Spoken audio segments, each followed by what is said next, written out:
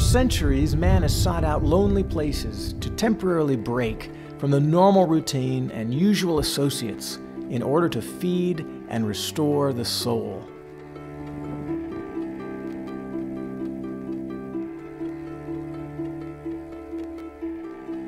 There is something about being alone in the remote backcountry, the adventure of it, and perhaps a bit of risk.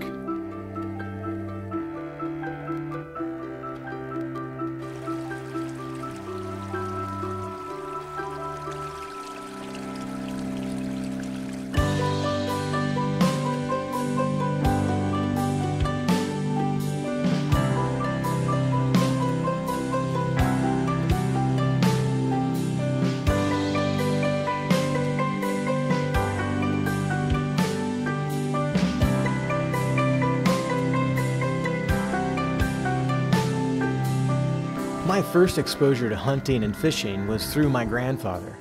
When I was a young boy, he and my grandmother lived in Montana. And I remember those summers we would visit like they were yesterday.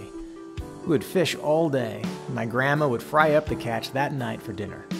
I loved hearing my grandfather tell stories of his hunting adventures.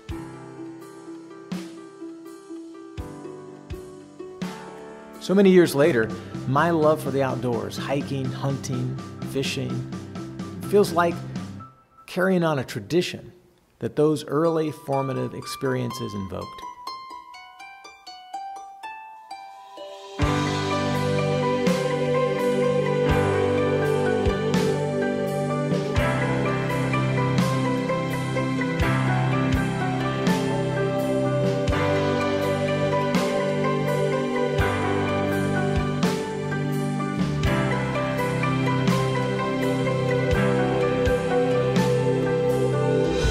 Spending time in the backcountry gives me perspective.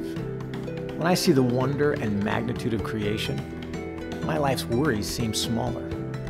These mountains stood here long before I took my first breath, and will remain long after I take my last.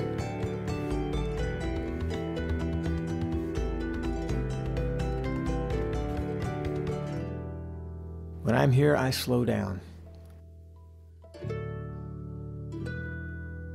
I enjoy the slowed pace of a long walk,